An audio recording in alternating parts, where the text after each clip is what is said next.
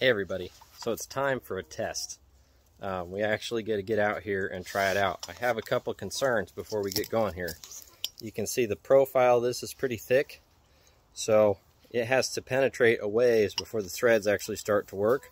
And I don't know if I can get that in one hit. I may have to take this out, repro reprofile this shorter. We'll have to see how far it drives down into the log to start. The corn test one. There's the penetration on the first strike, and as you can see, my concerns were a little warranted. I'm not, the threads aren't engaged yet. Okay, so I shortened the tip, and hopefully that'll be enough to get us in there where we can start trying the threads. And that's my next concern is whether the threads pull out or not.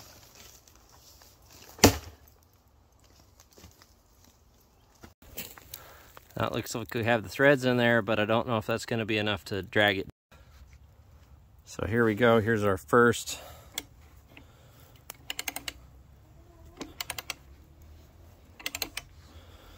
Yeah, it doesn't feel like it's biting. So our threads aren't quite engaged enough and they're just kind of pulling wood out. So we got to get it in there deeper. Okay, so the tip ain't going to work. So I'm going to try and set it up so I just drive the screw in there.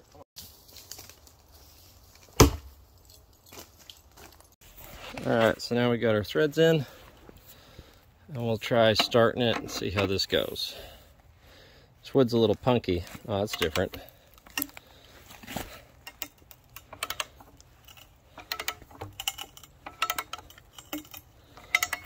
So we're definitely getting some traction here.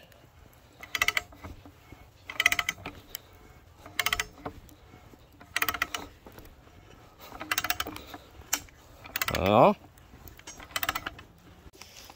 So, we'll see how much force it takes to split this up.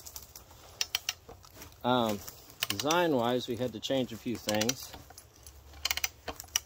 The screw, obviously, with the tip on it didn't work but the screw by itself works.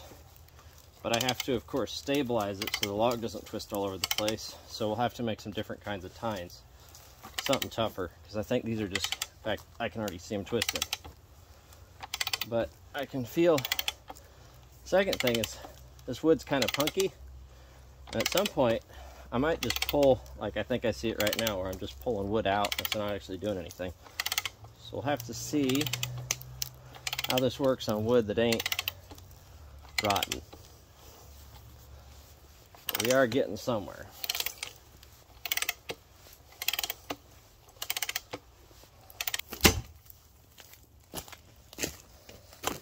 So it just occurred to me that when I've seen videos of folks using these unicorn splitters, they don't do it from the end grain, they do it from the side.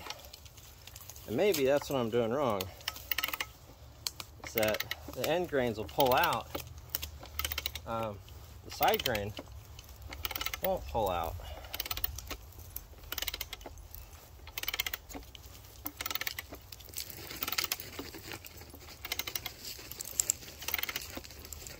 Well, the side grain pulls out too.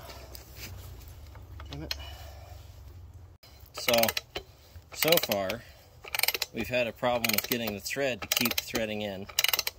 But I think that was because my tines were making contact too early, so now I'm going to try a different method. Cut the tines back so they engage later into the outside of the thread. Um,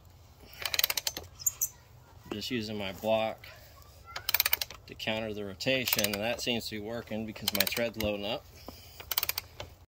So, um, this is an axe I built a while ago. It's a uh, solid, it's a piece of tube steel that I folded over. It's full of sand. Um, I like it a lot better than a maul for the head profile. This has been my favorite splitting tool for years. And um, since I made the Axicorn, everyone's like, well, why don't you just use an axe? Well, I do use axes all the time. But it got me an idea. See that crack there? That I could use my axe and my Axicorn together because now I got something to hang on to running the ratchet. So let's try this out, why don't we? Okay, so something's definitely happening. because it spread enough, it spread the log enough that my split opened up and dropped the axe out. So we'll try another hit, see what happens. Well, that was handy.